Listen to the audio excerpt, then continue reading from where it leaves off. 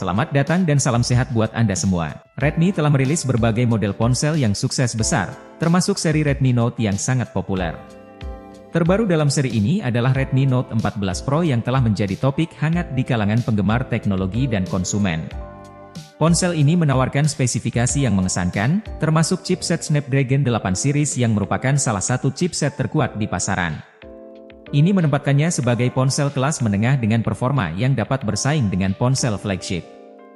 Redmi Note 14 Pro tidak hanya menjanjikan kinerja yang kuat, tetapi juga datang dengan berbagai fitur canggih lainnya yang menjadikannya primadona baru di kelasnya. Redmi Note 14 Pro membawa tampilan yang segar dan modern, menampilkan tiga kamera belakang yang terletak di bagian belakang dan mungkin juga menyertakan sebuah layar tambahan. Meskipun fungsinya belum sepenuhnya jelas, desainnya bukan sekadar peniruan.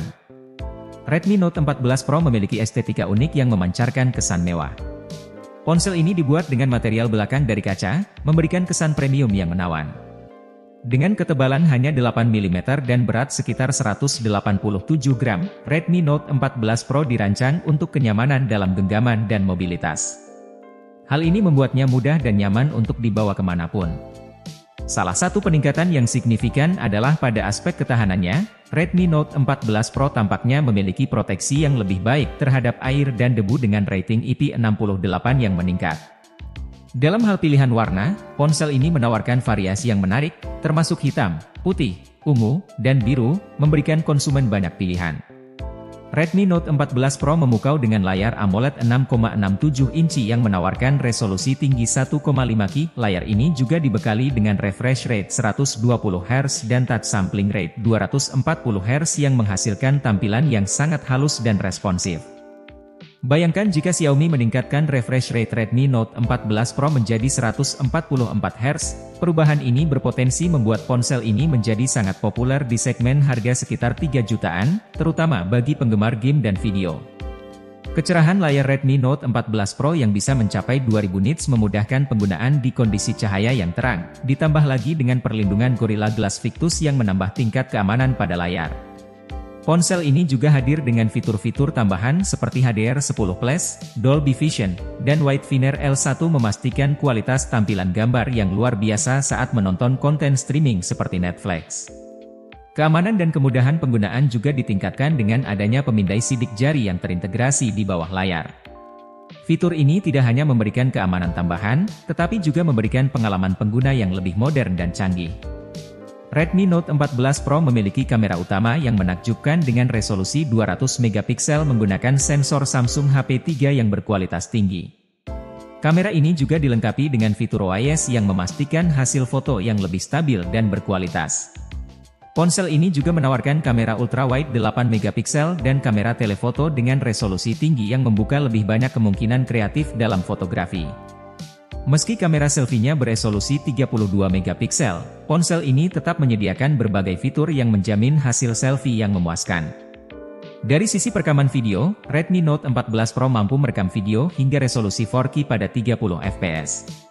Sementara kamera depannya mampu merekam video dengan resolusi 1080 pixel pada 60 fps, ditambah lagi dengan ES berbasis gyro yang memastikan video tetap halus dan stabil meskipun diambil dalam kondisi bergerak. Xiaomi tampaknya sangat memfokuskan Redmi Note 14 Pro sebagai pilihan ideal bagi penggemar fotografi, terutama berkat sensor Samsung HP3 yang menjadi salah satu sensor terbaik di kelasnya. Menurut informasi dari Digital Chat Station, Redmi Note 14 Pro menggunakan chipset Qualcomm Snapdragon 8 Gen 1 yang diproduksi dengan teknologi 4 nanometer oleh Samsung. Dalam pengujian kinerja nyata, ponsel ini mencetak skor sekitar 1,1 juta poin di benchmark Antutu, sebuah angka yang sangat mengesankan. Terutama jika ponsel ini dijual dengan harga sekitar 3 jutaan, menandakan nilai yang luar biasa di segmen menengah. Dari sisi kapasitas RAM dan penyimpanan internal, Redmi Note 14 Pro menyediakan pilihan yang beragam, mulai dari 8GB, 12GB, hingga 16GB RAM. Dan varian penyimpanan internal 128GB, 256GB, serta yang tertinggi 512GB. Namun Xiaomi tampaknya memilih untuk tidak menyertakan slot untuk kartu memori eksternal pada ponsel ini. Untuk sistem operasinya, Redmi Note 14 Pro menjalankan Android 14 dengan antarmuka MIUI 14. Xiaomi telah berkomitmen untuk memberikan pembaruan sistem operasi selama 2 hingga 3 tahun dan pembaruan keamanan hingga 4 tahun menunjukkan dukungan jangka panjang untuk ponsel ini. Redmi Note 14 Pro menawarkan berbagai opsi konektivitas, menjadikannya ponsel yang sangat serbaguna.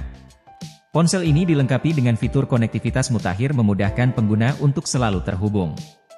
Fitur-fiturnya termasuk dukungan jaringan 5G, konektivitas NFC, dual speaker stereo dengan teknologi Dolby Atmos, jack audio 3,5 mm, infrared blaster dan rating IP68.